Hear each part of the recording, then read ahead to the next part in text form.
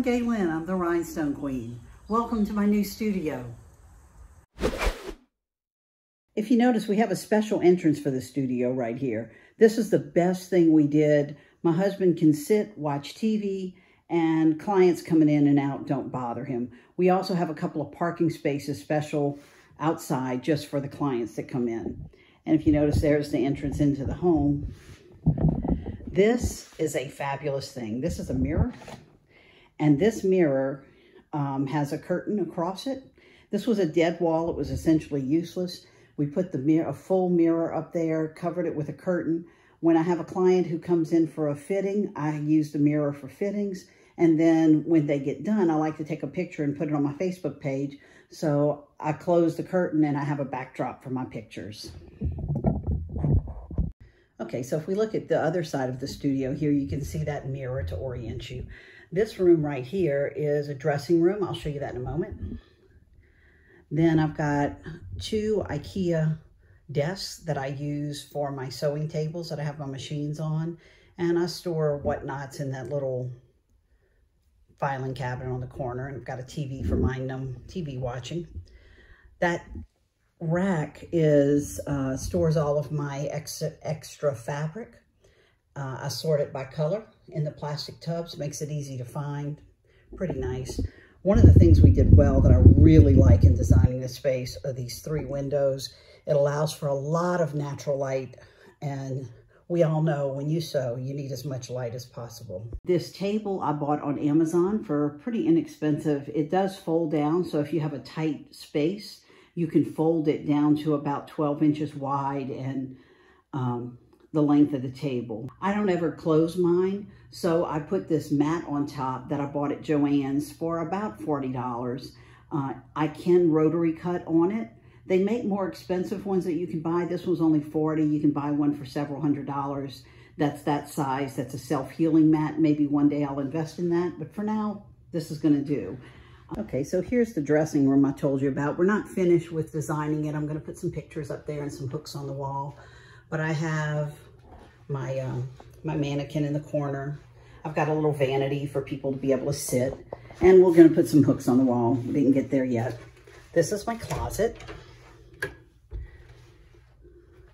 In my closet, I have my patterns sorted in this fabulous little thing I bought at um, Hobby Lobby. And the patterns are stored in there. Oh, that's a terrible one to show you. It's, I've got that big pattern on top. But see, I've got patterns all stored. It makes it nice and easy to access. I've got my bolt fabric in the corner. I've got some foam boards that I use for sewing right there in the corner as well. I've got my bolt fabric on the bottom, extra supplies, the projects that I'm working on, all of my rhinestones and a head because I, I make head pieces. And then all of my things are stored up top and they're all in bins and are labeled. Makes everything easy to find. So that's pretty nice. You can see it just goes on. I have tall ceilings, so that just goes, I took advantage of all of the space. It's all stored. I do have um, some hanging space I don't need much. I keep my ironing board in the corner. I think you can see from this dressing room that the bathroom is attached. So that was a smart thing we did. And this bathroom is actually a Jack and Jill bathroom. And it goes through to the guest rooms on the other side. Oh, I do have a chalkboard there. I forgot to show you that. That I keep my projects on and a clock. And, oh, very important when you're working. We put an oscillating fan up there. Oh, and the other important thing that we did that was incredibly helpful is the lighting. That's a chandelier from my old house, and we have six recessed lights in here. So I don't know if you can tell how nice and bright it is, but it's very bright in this room, and that was one of the good things. Probably the one thing we did that we that I didn't realize, I love the light, but the light came at the sacrifice of walls so we don't have wall space. The other thing I have um, that I don't like is that we could have made the room, if it were just a foot or two wider, it would be better because you can see that it's a pretty narrow space. I pull an extra table in here, it, it's a little tight. Had I made it two feet wider, I'd be in much better shape. And I didn't think about the door swings with having two entrances. So we really only have, you know, we have one wall with, there's windows. Another wall has an exterior door and a door to the inside. And then there's that little bitty wall that's dead. A door to the dressing room, which, oh, by the way, we did pocket doors.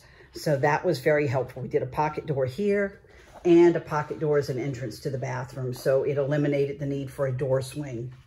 So that was good. But these are the only walls I have. So that was, that's the negative. Um, I, it works. We ended up with enough space. Since you've had the tour, I thought you might find it helpful to see the studio floor plan. If you'd like to study it a little bit, you can go ahead and just hit pause here. Thanks for touring my studio with me. If you have any questions, please let me know. And if you ever want to learn how to make dance costumes or leotards, I have lots of videos out there and I'm happy to show you. Thanks for watching.